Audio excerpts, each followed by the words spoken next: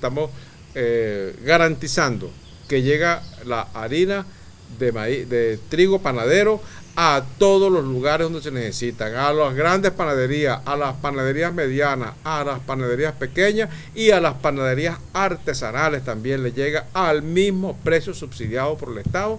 Entonces ellos están obligados a que no tienen que inventar subterfugios para compensar las ganancias.